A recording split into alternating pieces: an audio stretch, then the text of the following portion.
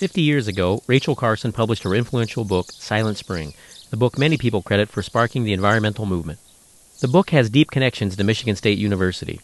From the late MSU ornithologist George Wallace's research that was featured prominently in the book to the establishment of the Rachel Carson Chair in Sustainability at MSU and a legacy of environmental science being conducted today. Dr. Wallace's work was, I think, pioneering. It looked at the population of robins being affected, essentially being eliminated by a chemical residue.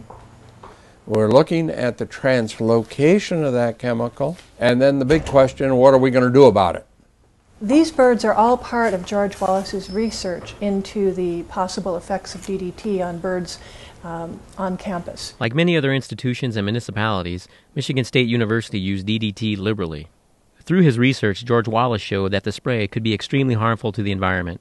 In a process called translocation, DDT would accumulate in lower organisms such as earthworms. When higher animals like robins ate the infected worms, they would ingest a lethal dose of DDT and die. Each of them was found with tremors, which is the, one of the symptoms of DDT.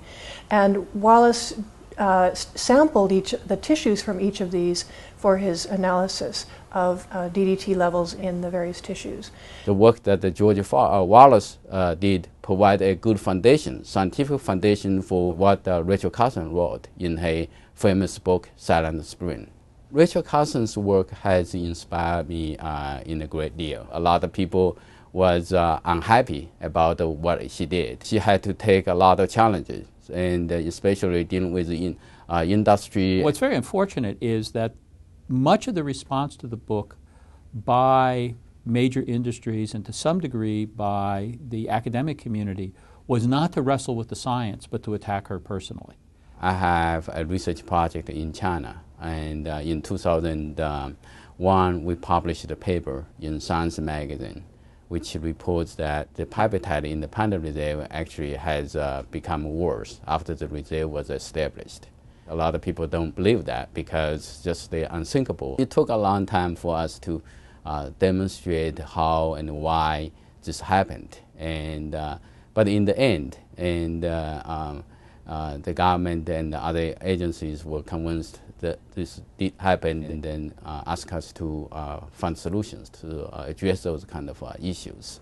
Tom Dietz, Michigan State University Assistant Vice President for Environmental Research and a leading climate change scientist, understands researching a controversial subject in the face of detractors. When someone raises a serious societal issue like the problems with pesticides that Carson raised, the response that's healthy is to deal with the science, figure out what's right and what's not right in the science, and how we can have creative solutions to the problems. The approach of simply trying to bully uh, your way out of the problem by attacking the messenger strikes me as very wrong-headed and not very useful. The application of what we learned from Silent Spring, it was turning point.